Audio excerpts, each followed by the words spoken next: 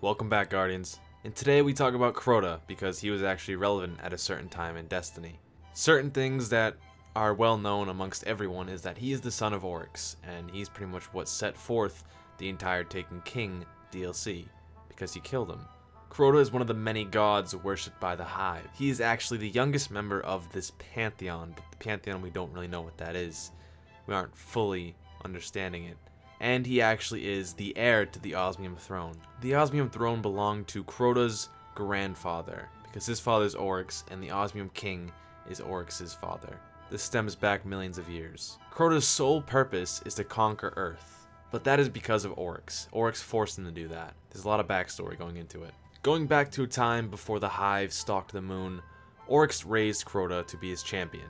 He earned the name Eater of Hope traveling to many distant worlds and devouring them on his behalf to chase after the traveler. This gained him quite a reputation as a terrible demon among other races. What started his purpose that Oryx gave to him was because of this one time where Crota and his sisters were experimenting in the Ascendant Realm he accidentally let the Vex into this realm. It was kind of a trick by his aunt Savathûn, if you remember her, one of the three children of the Osmium King. Crota understood that he really screwed up with that and failed to eliminate some of them, and then the Vex created the Quria Blade Transform. This was in order to deduce the Hive's sword logic and to defeat the Hive while attempting to become gods themselves. The Vex are a crafty species. The way Savathûn tricked Crota was she had Crota choose a location that contained Vex. Why? I don't know. This allowed the Vex to enter the Ascendant realm of Oryx directly. The Vex were actually perplexed and quite amazed by the unique physics of this realm.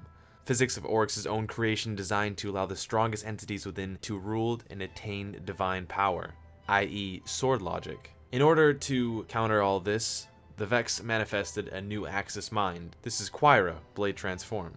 This Axis Mind was able to unravel the enigma of sword logic, and thereby allow the Vex to adapt to Oryx's Ascendant realm. Quria's solution was simple. In order to gain power in the realm, the Vex needed to kill everything within it.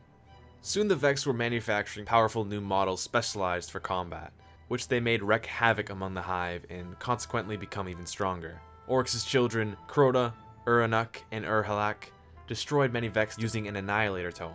You may recognize this during the Crota and Oryx's raid. But they were unable to seal the portal to the Vex. Quria built a device to hold it open. For a century, a stalemate between the Vex and the Hive endured. Neither race could leave their origin space to attack other without becoming too weak to inflict any lasting damage. Eventually, Quria captured worm larvae for experimentation and discovered that worshipping the worms allowed the worshipper to alter reality slightly. As a result, it created a Vex priesthood to worship the worms, and then began capturing and killing increasingly dangerous organisms to bootstrap itself to divinity in accordance with the Hive sword logic. For unknown reasons, Quria refrains from integrating a worm with Vex mind fluid, but I'm happy to see that Quria chose not to. With all this terrible stuff going on that Crota had started, this made Oryx force his hand in this conflict. Oryx cleared his Ascendant Realm of Vex, defeating Quria's limited tactics and forcing the mind to retreat for a time, because that's what the Vex do, they have to retreat into time. Quira did not attack the Hive again until Oryx had built his Dreadnought, and used it to destroy the Harmonious Fleet Invisible.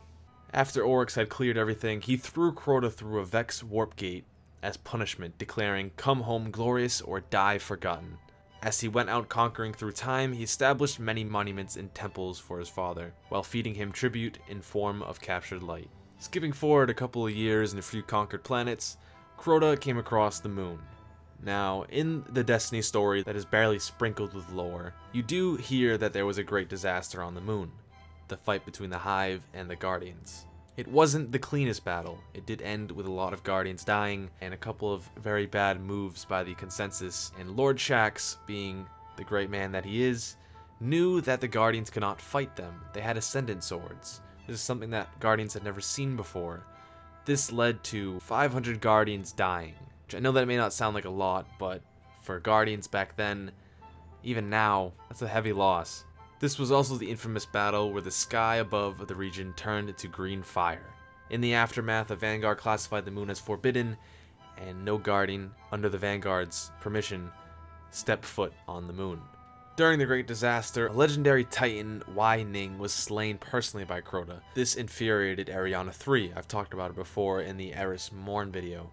She swore revenge against Crota. She led five other Guardians in an attempt to kill Crota, but we all know how that ended. It ended with four out of the six dying, with Toland the Shattered going missing, and Eris Morn returning back without any eyes. And that is where you, Guardian, come in into Crota's history.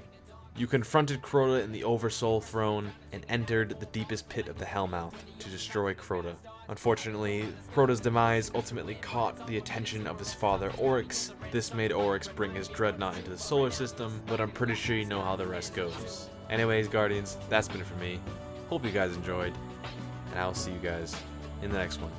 Later, Guardians.